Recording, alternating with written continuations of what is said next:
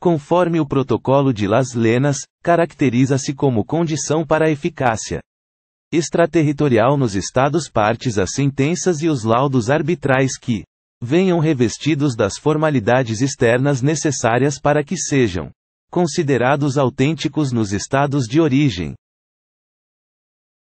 Analisando a questão, você responde: verdadeiro ou falso? O gabarito é verdadeiro. Artigo 20. As sentenças e os laudos arbitrais a que se referem o artigo anterior terão eficácia extraterritorial nos Estados partes quando reunirem as seguintes condições: a. que venham revestidos das formalidades externas necessárias para que sejam considerados autênticos nos estados de origem.